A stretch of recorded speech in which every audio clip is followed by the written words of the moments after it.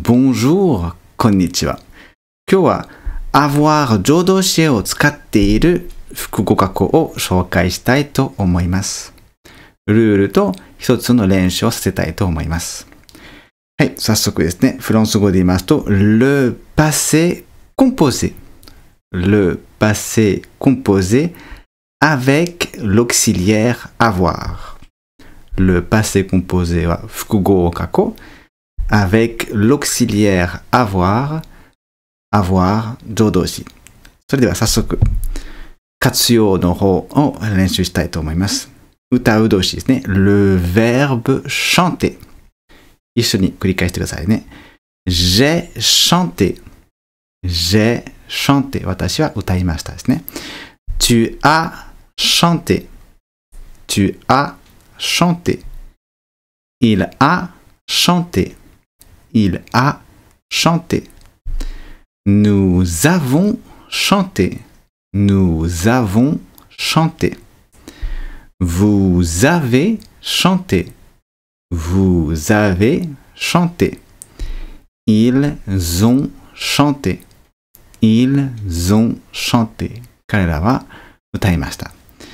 で、気をつけないといけないのは、まあ、ここですね。ここですね。お失礼しました。 この二つの動詞ですね。過去分詞、chanter と、あの、えの助動詞ですね。二つですから複合ということですね。j'ai, tu as, il a, nous avons, vous avez, ils ont をまず覚えないといけないですね。でその後はその過去分詞ですね。過去分詞は、まあ、上動詞はみんな同じですから簡単だと思います。えとなります。ここですね。う、アクソンというとなってますが、はい。じゃあそれを完璧に覚えてもらいたいと思います。いいですね。何度も繰り返して、ビデオを見て繰り返してください。次行きましょう。否定形ですね。le verbe chanter また歌う動詞ですけれども、否定形でやりたいと思います。やっぱり口の練習しないと、実際あの話したい時にはあの言葉が出ないと思いますので、まずは練習ですね。le verbe chanter. je n'ai pas chanté. あと今少しね上がりますが、話をするときは je n'ai pas chanté. ここで上がりますね。je n'ai pas chanté.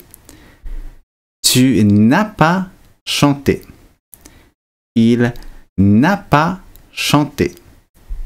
Nous n'avons pas chanté. Vous n'avez pas chanté. Ils n'ont pas chanté. いいですね。これをもう3回、4回言える、書けるようにあの覚えてもらいたいと思います。それでは練習をしましょう。J'ai chanté hier soir. 昨日歌いました。